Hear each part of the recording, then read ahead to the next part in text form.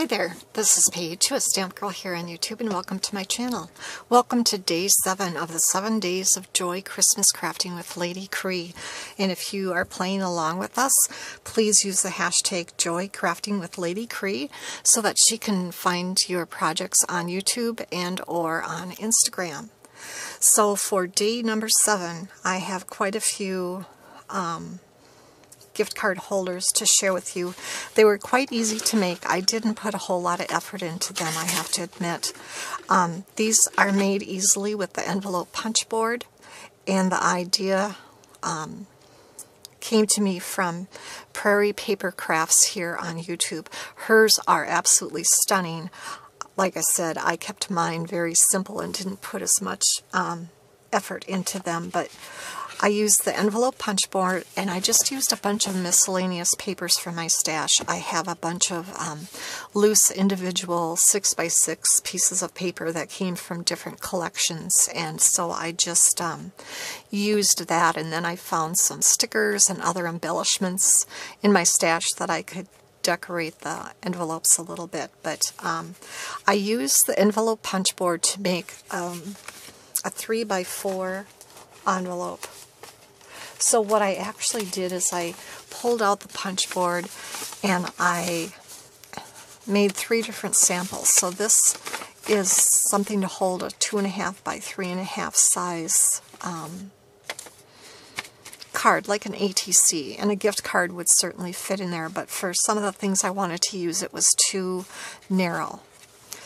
And then I made this one that was three by three and a half, and again it was um, maybe not tall enough for what I wanted. And so I settled on the measurements for a 3 by 4 envelope, and then all I did was um, I just folded the one of the short sides in and the two bigger sides over, and I didn't fold this down. In fact, as I was working on them, I just um, stopped making that score line altogether.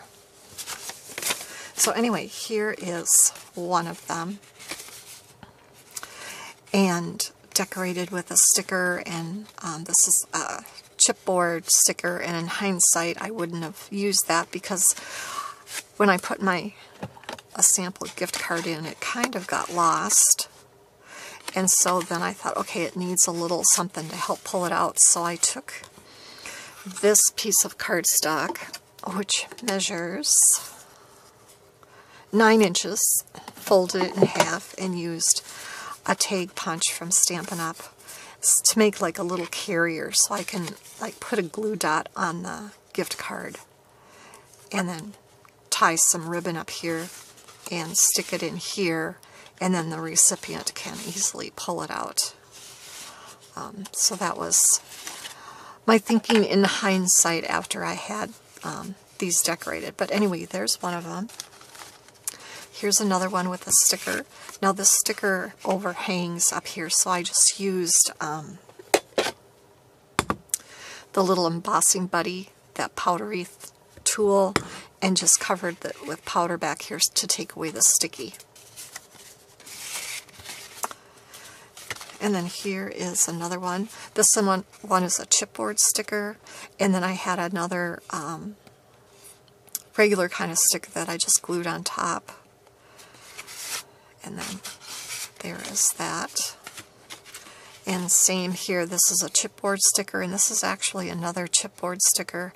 And I chose to put that on there because the bow needed something, and then it matched the color and the little star decoration in here. And then, so there's that one. And then, I know this is from, this paper is from Stampin' Up! Um, because I, I love the craft color with red, black, and white. Um, this was one of the few pieces I had left, and then one of the chipboard sticker sheets had a little gingerbread man, so I um, paired them with that, and then these little peppermint candy chipboard pieces too.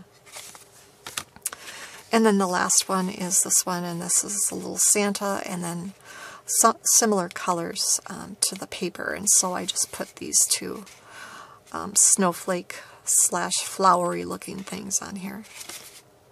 But those are my easy peasy um, gift card holders for this time.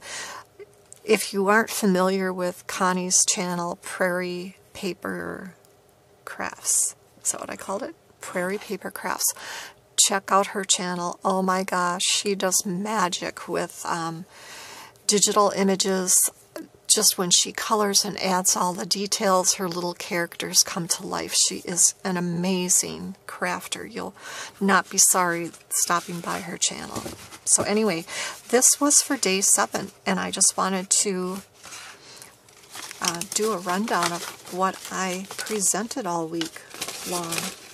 So this was yesterday for day six. This was inspired by my friend Deb, who is Deb Houck's Crafty Cottage.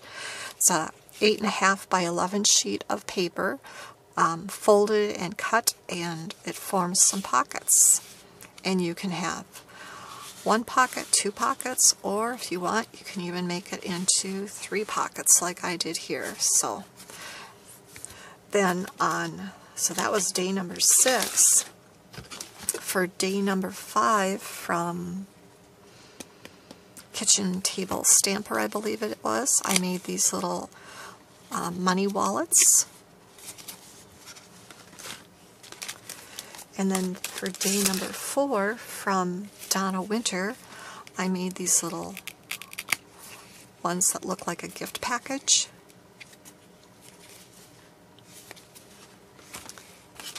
And then from day number three, I followed a tutorial from Buckeye Inkling. This is a twin pocket card, and this, again, is just made with um, pattern paper folded.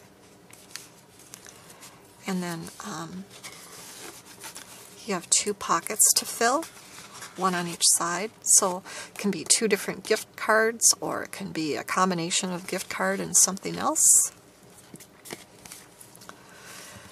And then on day number two, I shared this accordion one, which was inspired by Polly's Paper Studio.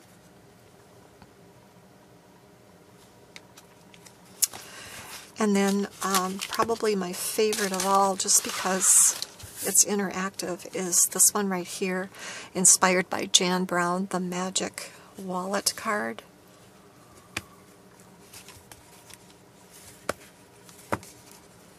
I just love playing with this. I could do this all day long.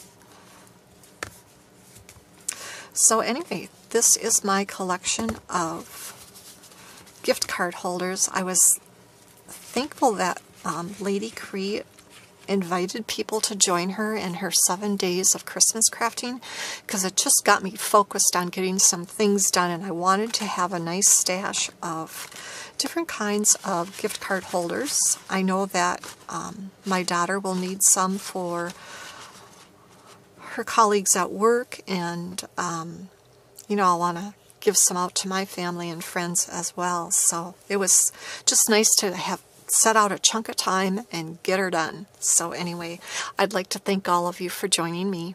And now I'm off to create.